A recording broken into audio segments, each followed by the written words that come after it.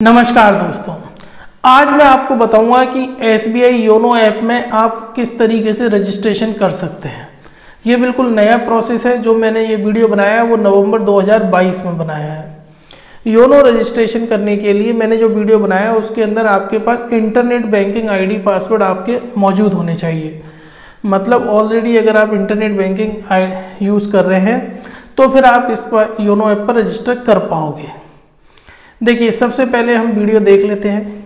सबसे पहले आप योनो ऐप को ओपन करेंगे। योनो ऐप को ओपन करने के बाद आपको सब परमिशन देनी है, फिर आपको करना है एग्जिस्टिंग आपको यहाँ पर एग्जिस्टिंग एसबीआई कस्टमर पे क्लिक कर देना है।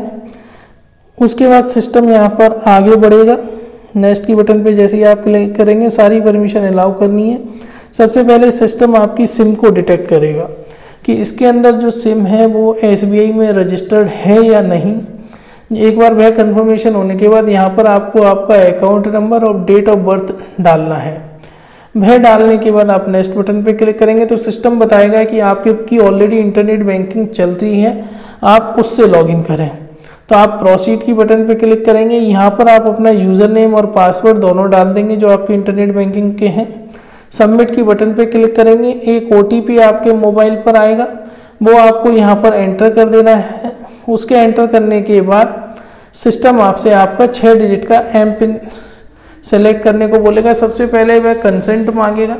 आपको नेक्स्ट बटन पे क्लिक कर देना। अब यहाँ पर आप अपनी चॉइस का सिक्स डिजिट का कोई भी एम पिन चूज़ कर सकते हैं, जिससे कि बार बार आपको आईडी पासवर्ड डालने की जगह एम पिन डाल के आप ओपन कर पाएँगे।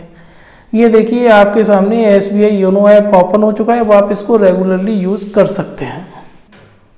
तो फ्रेंड्स मुझे उम्मीद है कि आपको मेरा वीडियो पसंद आया होगा। प्लीज़ मेरा वीडियो आप अपने व्हाट्सएप ग्रुप पे शेयर करें और मेरा चैनल सब्सक्राइब करवा के रखें बैंकिंग रिलेटेड इन्फॉर्मेशन के लिए। धन्यवाद फ्रेंड